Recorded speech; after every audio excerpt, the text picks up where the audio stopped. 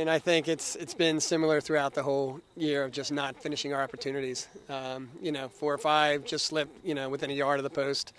Um, you know, it's something we work on all the time, just having that little bit of composure. But uh, you know, hopefully someday, you know, hopefully Sunday it'll come through and we'll, we'll be fine. As a team, we're playing, I feel, excellent soccer.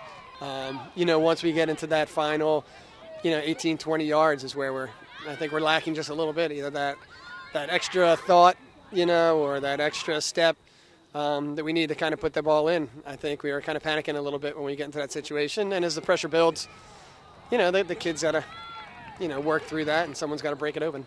You know, all four backs and Kalen played excellent. Um, you know, we, we limited him to, to really one or two good opportunities. Um, you know, we can't ask any more of them. They've been playing great all year. Um, they've been starting our offense. Um, you know, it's just one of those situations where I think, you know, they're, they believe in our forwards. Um, they believe we're going to score. So, you know, hopefully that'll happen on Sunday.